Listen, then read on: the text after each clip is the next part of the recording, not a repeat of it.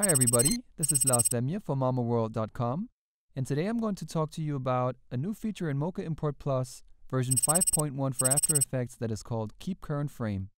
What this feature does is that it maintains the transform value of your image or insert that you are applying a corner pin on with Mocha Import Plus for After Effects. Let me show you what that means and how this can benefit your workflow with Mocha Import Plus.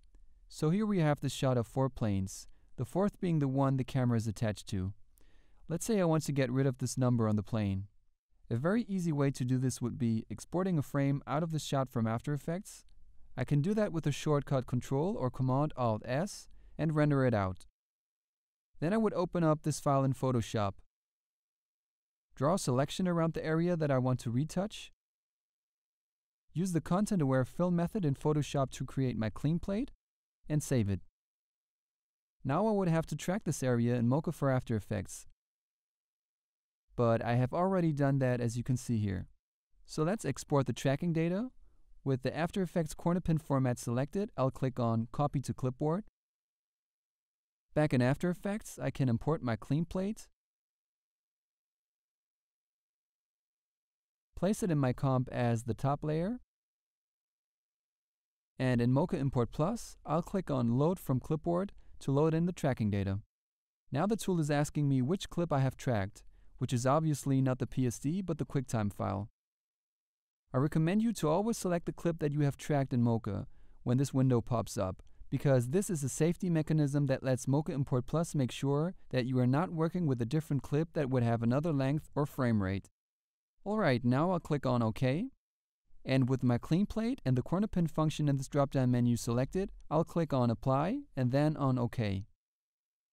Now notice that this corner pin has been applied to the whole image by squeezing it to the tracked area, which is not what we want.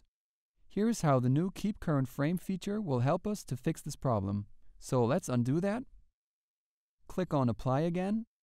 Check this box where it says Keep Current Frame. And click on OK.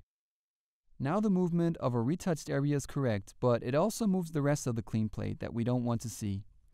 Therefore, I will just mask out the area that I have retouched by selecting the clean plate and just drawing a simple mask around this area.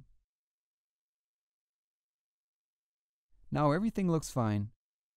This is a commonly used and very simple way to retouch your shots. There you go. This is how the Keep Current Frame option in Mocha Import Plus for After Effects works. This is only one of the amazing features of Mocha Import Plus for After Effects. To learn more about other functions of Mocha Import Plus, just choose the function in this drop-down menu and click on the tutorial button. That will open up a browser that links you to mamoworld.com with a tutorial about this function. If you want to find out more about Mocha Import Plus, you can visit mamoworld.com or get a free trial version on aescripts.com.